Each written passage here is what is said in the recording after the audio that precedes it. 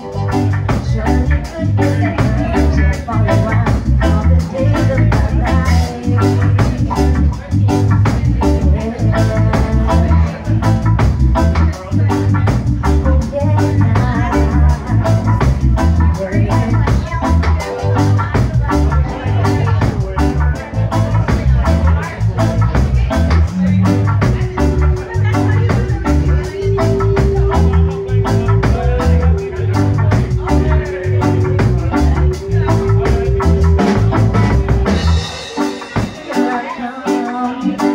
the night train.